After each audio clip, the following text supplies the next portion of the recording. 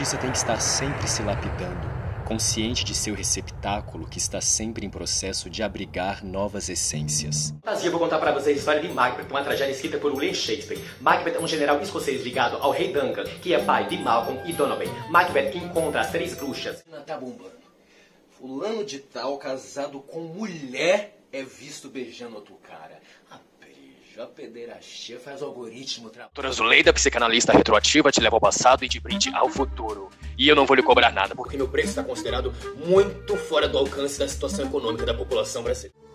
Mas nós respiramos, nós mudamos, perdemos os cabelos, os dentes, a juventude.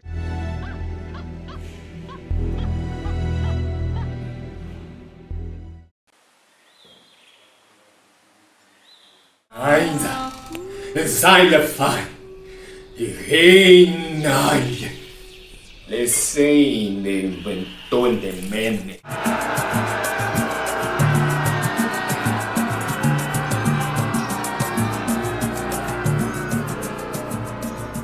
Me dejaste alternativa, Carlos. Era tuyo yo. Salió mejor de lo que pensaba, querido Carlos. ¿Quién puede resistir el dolor de una pobre viuda?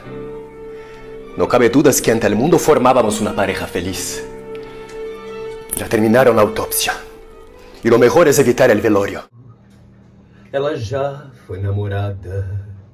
O seu corpo é dos errantes, dos cegos, os retirantes. É de quem não tem mais nada. Joga pedra na Geni, joga bosta na Geni. Ela é feita pra apanhar, ela é boa de cuspir.